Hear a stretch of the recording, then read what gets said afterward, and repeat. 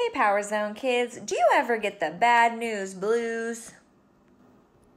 Psalms 112:7 says he is not afraid of bad news. His heart remains secure, full of confidence in the Lord. No, I won't be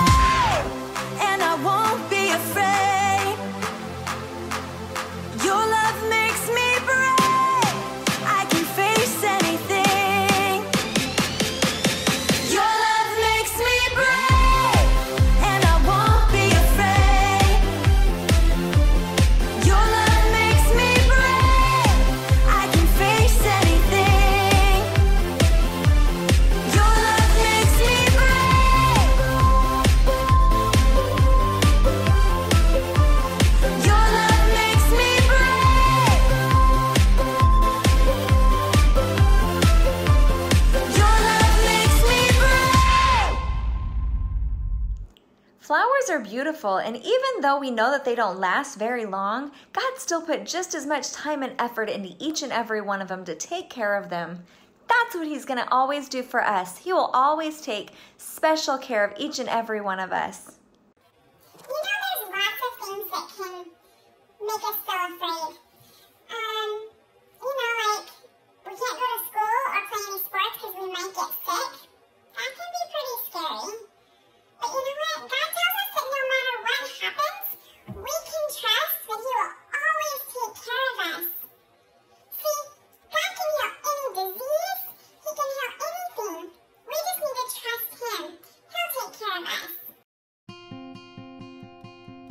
This is thankful. Don't worry. This is Jesus. Heyo! Who is the Son of God and the Savior of the world. Jesus did many amazing things. He taught everyone about God's love, healed people from their sickness, and even calmed storms.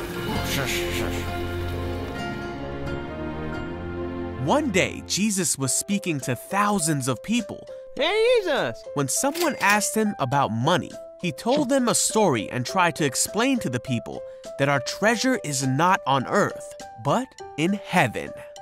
Then he turned to one of his disciples and said, That is why I tell you not to worry about everyday life, whether you have enough food to eat or enough clothes to wear, for life is more than food, and your body more than clothing.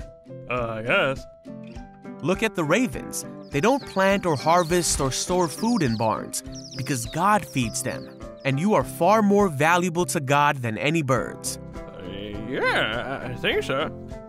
Do you think that by worrying about anything, you can add a single moment to your life? And if worry can't do a little thing like that, what's the use of worrying over bigger things? That's a good point. Look at all the lilies and how they grow. They don't work or make their clothing. Yet Solomon, the great king of Israel, in all his glory, was not dressed as beautifully as they are. And if God cares so wonderfully for flowers that are here today and thrown away tomorrow, He will certainly care for you. And don't worry about what to eat or what to drink. Yeah, okay. Many people worry about these things, but God already knows what you need. Seek the kingdom of God above all else, and He will give you everything you need.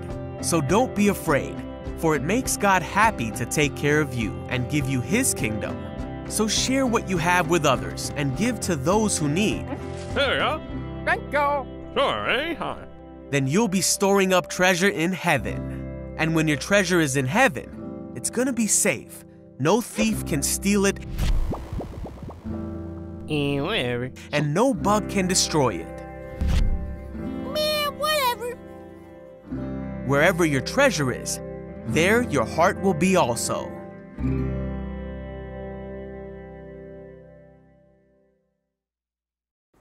Well, guys and girls, that's it for this week. I hope you all enjoyed your lesson. See you next time.